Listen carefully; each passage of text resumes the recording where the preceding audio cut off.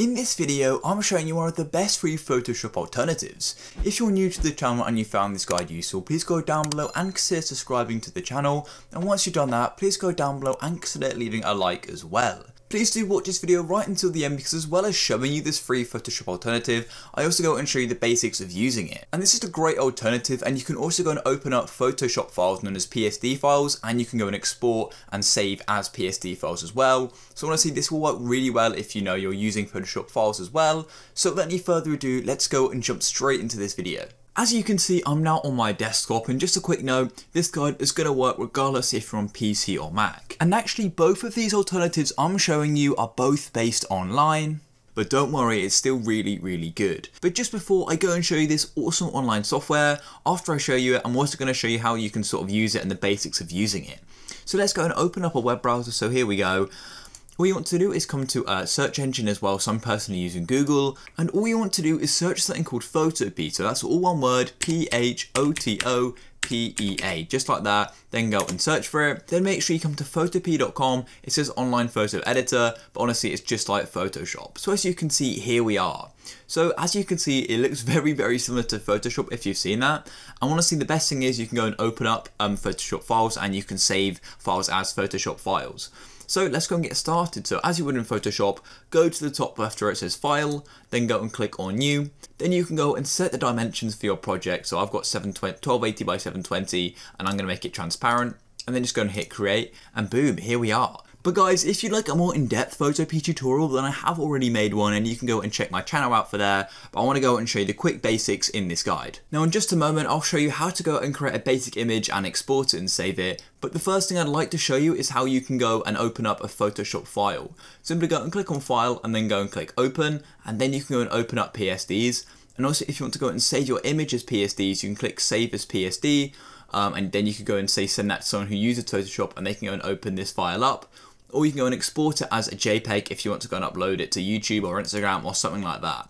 So the first thing I'm going to do is add some text. So grab the text tool like that and then go and click anywhere and let's go and change the size. I'll make it a tiny bit small about that size there.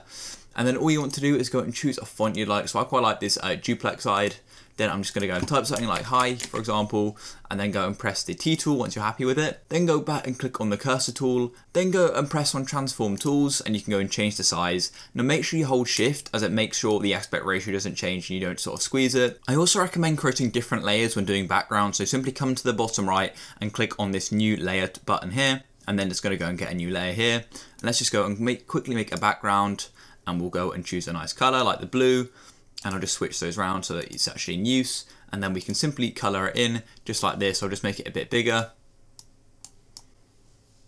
And then to go and deselect it so you get rid of those lines, do Control D. Now just switch these layers around so the height is on top of it, just like this, and boom, there we go. So then to go and save it, all you need to do is go and click on File, and then you can go and do Save as PSD. Then it's going to go and bring up your File Explorer, and you can choose where you'd like to save it. And then you can also go and do File and do Export as well to say a PNG. Go and click Save, and boom, it goes and drops to download here. Now let's go and get into the second alternative, which is another awesome software called Pixlr. So that's P-I-X-L-R, just like so. Then go and press enter, and then make sure you come to pixlr.com. It's going to take a minute to load and we've got two different options down here. You want to make sure you go and click on the advanced photo editor. So click here and then it's going to take a minute to load. We can quit off this. But as you can see, we need to go and create a new template. So simply go and click create new here and then we can go and choose the size of it. So for this example, I'm just going to go and use full HD 1920 by 1080 and then go and click there. I'm going to name this example and then go and click create down here. Then as you can see, we'll have to go and agree and proceed. And then here we go. We've got our background we can go and start with. So you can go and zoom out to see a bit more by doing control minus. And here we go, guys. This is another really cool software which is very similar to Photoshop as well. It's quite similar to Photopea, but I like to provide an alternative as well in case you don't like this one, for example.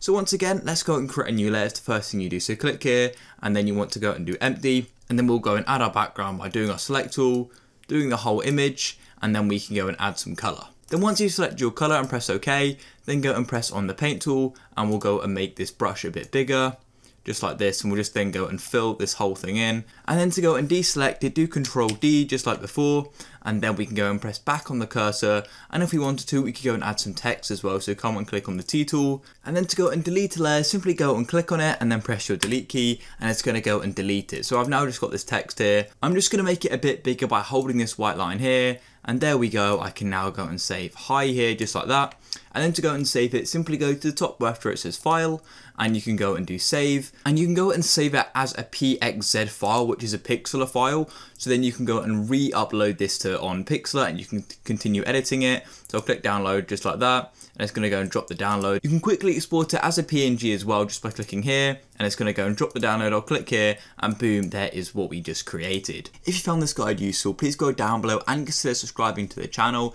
Leave a like for more. I'll catch you in the next one. Peace.